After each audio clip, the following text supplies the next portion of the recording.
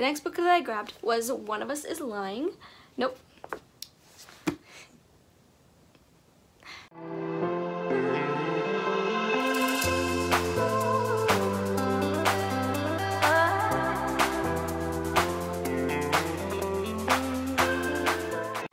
Friends! Welcome back to my channel, The Awkward Book Nerd. It is me, Alana. For this video, I'm doing my winter book haul part 2. So uh, the last one got kind of long while I was filming, so I decided to split this up into two parts. And so the last half of these books that I've got are the books that I got from the book outlet uh, holiday sale that they did. I think it was the Black Friday one or maybe it was just a normal holiday one. I can't remember. And then the Christmas gifts that I got from family and friends as well. And then also some just random ones that I bought myself because treat yourself. So I'm just gonna go ahead and jump right in and get started so this video won't take super duper long. But the first book that I got from the book outlet sale was Holding Up the Universe by Jennifer Niven. I don't know much about the story. Uh, the synopsis was kind of brief, but it sounded really good. It sounded like something that was up my alley, so I was like, why not grab it? It's only $3. And it's been on my Goodreads TBR for a while. I honestly went on Book Outlet, and a lot of these have been on my Goodreads TBR for a really long time, so that's why I decided to just go ahead and grab them because they were all like pretty cheap, and I was like, it's a good way to knock out those books off that TBR because it's been a while. So yeah, this was one of them. The next book I grabbed was Undercover Princess by Connie Glynn. Um, I think this was a middle grade and it sounded really cool. It was like something about a girl going undercover in a princess academy or something like that. But it sounded really cute. Again, it's been on my TBR for a really long time, so I figured it was probably good to just go ahead and get it and read it at some point this year. And honestly, the covers are really beautiful, so that also spurred me to buy it. Plus, I love like royalty stories, so I figured this would hopefully intrigue me like that. Next book I grabbed was Starry Eyes by Jenn Bennett. I loved Alex Approximately by Jenn Bennett and so I figured I would grab Starry Eyes because this was the next popular one that she's uh, written that people love and again the synopsis sounded really interesting and Jenn Bennett has like a really simplistic writing style that I enjoy so I figured this would be a fun read to do.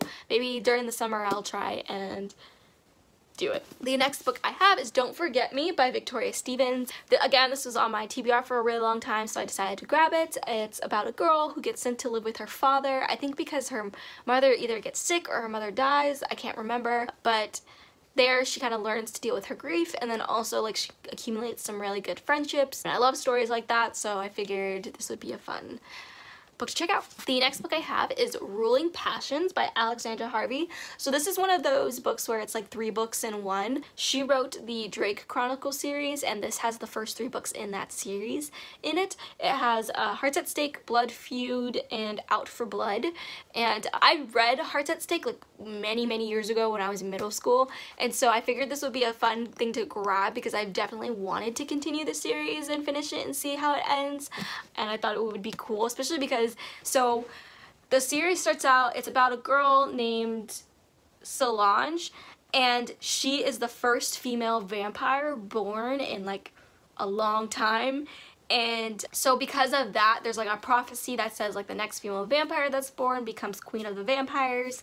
And so it's uh her dealing with that plus like she has seven older brothers that like are super overprotective and don't want to let her out of their sight and so that's a thing too and then she has a human best friend who's like quirky and adventurous and so it's kind of like her life. But I like it even more because each book takes place from like so like the first book's from her perspective and then I think the second book might be from the best friend's perspective or maybe it's from it's either the best friend's perspective or the brother's perspective because then the rest of the books take place from the brother the rest of the brothers perspectives I think where they like fall in love with someone or something or whatever.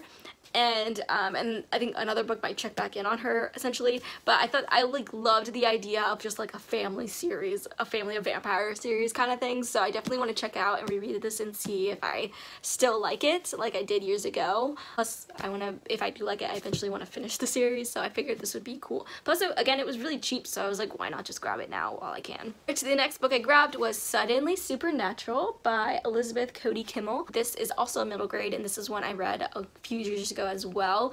Um, I grabbed this because I wanted to see if I still liked it as much as I did years ago. I think my like tentative idea for this year is that some of the books that I read maybe in like middle school or when I was younger I would love to reread and see if I still enjoy them as much as I did back then just because it would be fun and plus again I want to get more into middle grade so I feel like this would be a good jump start into that too like rereading the stuff that I loved and then like eventually moving on to stuff that I haven't read yet but would like to or that intrigues me. The next book I grabbed was Victoria in My Head by Janelle Milanes. This sounded like a fun story. Um, I love music so anything that has like a music, music themed thing about around it I was like why not. Um, I don't know much about the synopsis but I would love to check it out and see what see if I like it. Okay, the next book I grabbed was We Were Beautiful by Heather Hepler. I've actually already read this. I managed to get an e-arc of this last year and I loved it. So when I saw that they had um, a paperback copy for sale, I thought it would be um, a fun thing to get, especially since I did love this this book. It's a, a nice contemporary. Um, it does have some like serious themes, but I did enjoy it a lot and the stories and the characters, so I definitely recommend this as well. The next book that I grabbed is One of Us is Next by um, Karen M. McManus. I am so excited that I was able to grab this. This was on the art table at my job, and so as soon as I saw it, I immediately grabbed it and was like, this is mine. I've read One of Us is Lying, which is the original companion novel to this. Like, this is the companion novel to that. And then I read um, Two Can Keep a Secret, and I loved both of those reads, so I'm super excited to read this and kind of jump back into the world from One of Us is Lying and just see how the characters are doing, plus meet the new characters that are the main ones in this. And yeah, I'm just super, super excited because I love her writing and her storytelling and her mysteries. And I loved One of Us is Lying, so excited. Okay, so the last uh, few things that I got before I move on to the gifts that I received, I got from RightStuf Anime. I love that site. It sells manga and anime and anything related to manga and anime and stuff like that. And so their sales are always the best. And I uh, managed to get a few things over break. And they had a lot of sales happening during especially like really good sales during winter. And so I managed to get a bundle of manga like a lot of manga. But uh, one of the ones I'm super proud of I just recently got and they are the first six volumes of Haikyuu. Um, it's the manga and anime that takes place. It's like a volleyball themed story where like it's about a, a boys volleyball team that's like trying to get their school basically famous again uh, through like volleyball in general and I love this story I I watched I binge watched all three seasons of the anime and right now I'm rewatching them again because uh, the fourth season comes out this month and so I was like, well, I'm just gonna rewatch them so I can get ready. And then I bought the manga because I was like, I would totally love to read the manga and like see if maybe the story goes a little bit further than the anime for right now. But I love the story. It's so funny, so cute. I love sports anime because like the idea of just like teams and like working together just really like makes my heart warm. Alright, so the next few books I'm gonna show you are just books that I managed to get as gifts for Christmas. So some from friends and some from family. So the first book I got was All In by Jennifer Lynn Barnes. Um, I got this from my dad. This is the third book in the Natural series. Um, I was missing the third one. I had all, I had the first, the second, and the fourth one, but not the third one, and so I was really like, I really need this. I had it on my Kindle, but I wanted a physical copy because last year I started rereading them and I was tabbing all of my favorite parts, and then I realized I was like, I really want a physical copy of this so I can tab all my favorite parts on there too, so that's what I'm gonna plan to do sometime this year, hopefully. The next book I received was I Want to Be Where You Are by Kristina Forest. I got this from my friend Allie from Allie with Books. Thank you so much, Allie, for getting this for me. I love it so much. This has been on my TBR. I think this was one of my anticipated reads of the year of 2019. I just didn't get to it, of course, but I'm super excited to check this out at some point this new year. The next book I managed to grab was Strange Planet by Nathan W Pyle. So uh, I don't know if you've seen these comics, like the alien comics. There will be like strips like on Facebook or Twitter, and it's like these aliens that like take things super literal, if that makes sense. My dad got me this. I've been waiting all year for them to release this because I thought they, their comics were so cute, and so my dad got me this for Christmas as well, and I'm so happy because again, they're just so cute, and I love. They're funny because the aliens take things like so literal.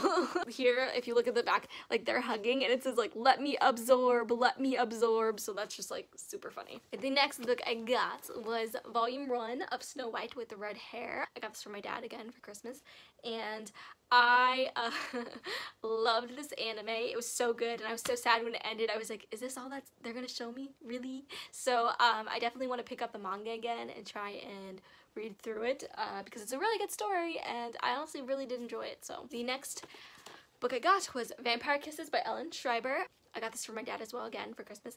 I got the hardcover because, okay, so when I first started reading the series, I got the first like four five in these like small mass markets editions, which here I can show you. These like mass market editions like this and they're tiny. And then as I caught up in the series the books were like still new. So they were coming out like in this size in hardcover. So I have like the last half of the series in hardcover. So I was like I really like to like exchange my mass markets out for these ones just to so they match and it's not like a weird height difference on my bookshelf so super grateful to my dad for getting this because I really wanted it. And the next book that I got was Renegades by Marissa Meyer. This was given to me by my friend Carrie from Carrie the Book Belt. Thank you so much Carrie, I love you. I have actually been really wanting to check this out because uh, I'm intrigued by like the superhero anti supervillain kind of uh, theme of this and I've never read a Marissa Meyer book and I, I was I'm not interested in reading like the, the Lunar Chronicles because I'm not a sci-fi person at all but uh, this sounds super super intriguing and I love superheroes so I would totally and like supervillains I love that like theme of those stories so I totally love to check this out and see if I enjoy it. The next book I got was First and Then by Emma Mills. Uh, my friend Chloe from the Brunette Bibliophile uh, sent this to me and I'm so excited. She knows that I've been trying to get into like more Emma Mills' books and I read uh, one of her stories and I really liked it and so she has been sending me Emma Mills' books now so I'm thoroughly grateful. Thank you Chloe. I like love it so much. I'm super excited to get to this when I can. Alright, to the next two books I was not expecting to get at all and I'm very very thankful for this person for giving me these because I loved this series growing up. So uh, my friend Laura from Bookies and Cookies, she sent me the first two volumes of the uh, W.I.T.C.H. graphic novels. They've been uh, redone, like I think they're being reprinted or whatever, and so I saw that and I've been wanting to get these and she's she sent me both of them and I'm so grateful to her for them. I loved this this like cartoon series uh, when I was younger and it's such a good series and so I was intrigued to read the graphic novel forms and see how different or similar they are but oh my gosh I'm so excited. Again like I love this series so much it was so funny. I also love like the romances in this especially in like season two when they all got boyfriends. I was like oh this is so cool. So yeah I'm weird. The last book oh my goodness.